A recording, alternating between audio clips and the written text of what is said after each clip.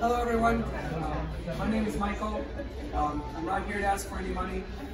Uh, what I do want to talk to you today about our Lord and Savior Jesus Christ. Um, I found Jesus late in life. It's only been about 10 years for me. Some of the people, uh, um, some of the people I'm here with have been believers much longer than that. Uh, but this means that it's never too late. The power of God is infinite and truly no words can really express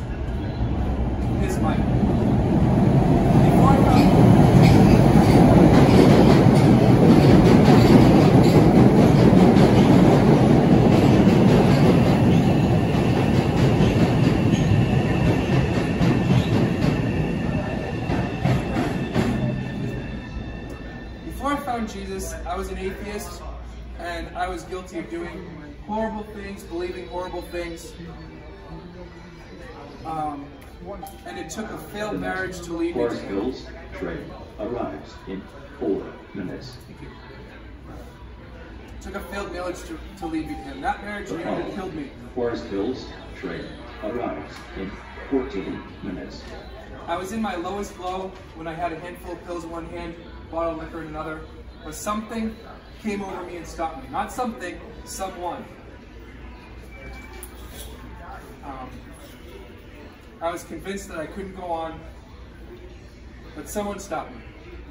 As you go about today, go about your day, think about this. There's no problem he can't help you with, and there's no sin he won't forgive you for. I know most of you are probably familiar with the song Amazing Grace, the line that says, I that says, How sweet the sound that saves a wretch like me. I am wretched, I do not deserve anything I have. This life I do not deserve that I have. But because Jesus died on the cross, he makes that false. I am a wretched sinner, but through Jesus, that is no longer true. So I ask you, what do you deserve?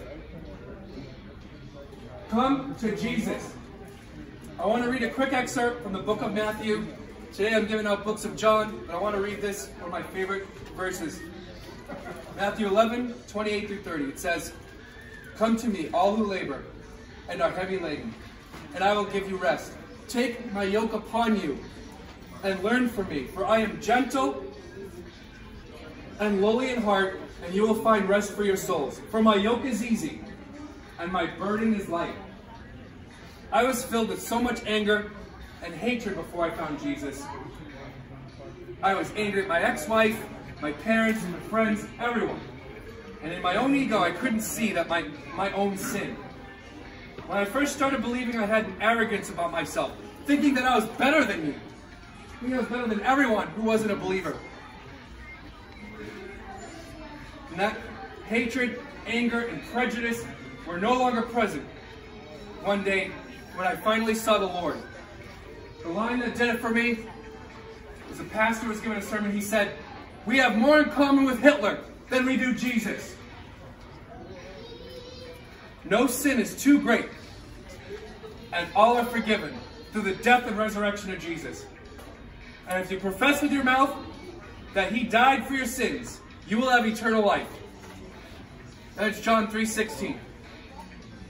Please take a book of John with you as you go with your day. Thank you for your time. Attention passengers, the next Right here. bound train to Forest Hills is now approaching. The following Forest Hills